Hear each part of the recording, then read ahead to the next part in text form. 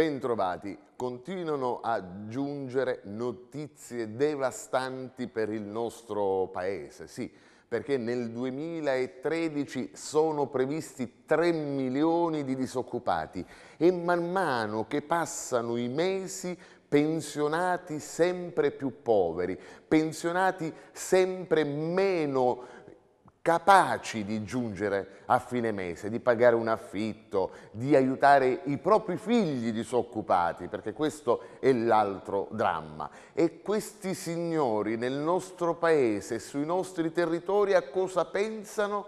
Alle primarie, a come fottere l'altro candidato delle primarie attraverso regole ferree e gli altri, quelli che si affacciano alle primarie, in difficoltà perché pian piano qualcuno si sfila e non vuole confrontarsi con Alfano perché non vede una reale prova di forza democratica all'interno del centrodestra, non ultima proprio la Santa Che, che starebbe ripensando al suo impegno nella competizione di, di, di dicembre. I problemi avanzano sempre di più e abbiamo visto negli States la campagna elettorale, i dibattiti televisivi e anche a conclusione il savoir-faire di Romney rispetto a Obama e viceversa. I dibattiti erano incentrati sull'economia, sulle difficoltà dei cittadini, su quello che si proponeva, al di là poi se sarà o meno mantenuto, non una parola sulle alleanze.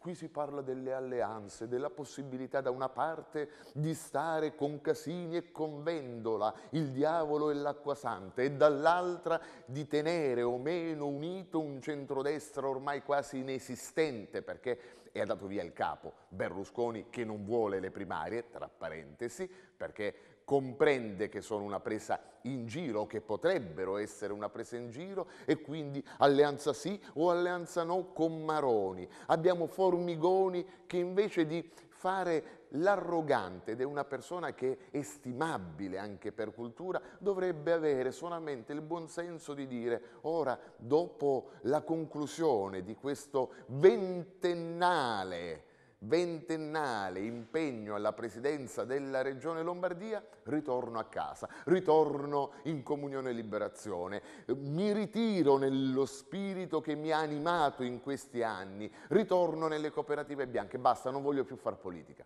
nulla, nulla di tutto ciò noi riusciamo ad ascoltare. A me non piace usare il termine rottamare, Rottamare significa demolire. A noi non deve riguardare demolire il politico in quanto tale. Noi dobbiamo demolire una concezione della politica errata, specialmente negli ultimi 18-20 anni. E dobbiamo rigenerare questa.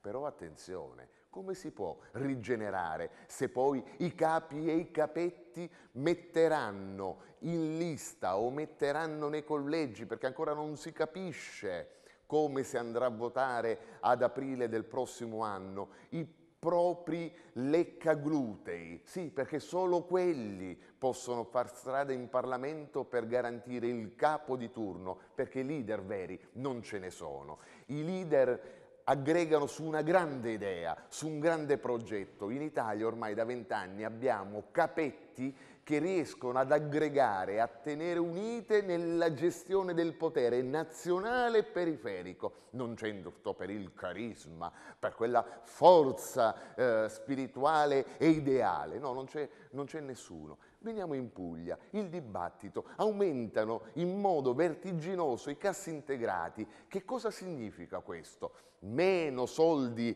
nelle famiglie e alle famiglie, crisi economica delle aziende. E su cosa dobbiamo intervenire noi? Cosa leggiamo noi invece sui quotidiani regionali e territoriali?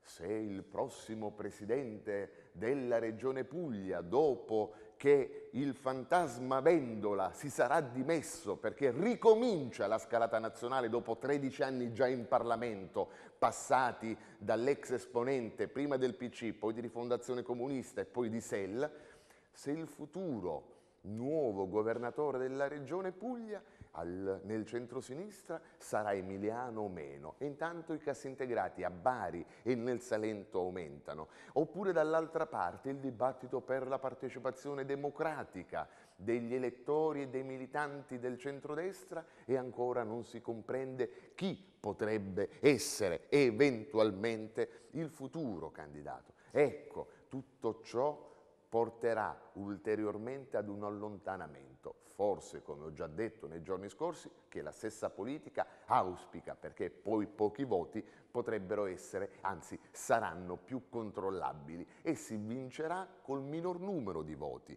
mentre qualcuno filosoficamente politicamente ci insegnava che quanti più voti c'erano e quanta più partecipazione era garantita, più come dire, dignità alle istituzioni democratiche veniva data. Ma il mondo ormai va in modo inverso. A domani.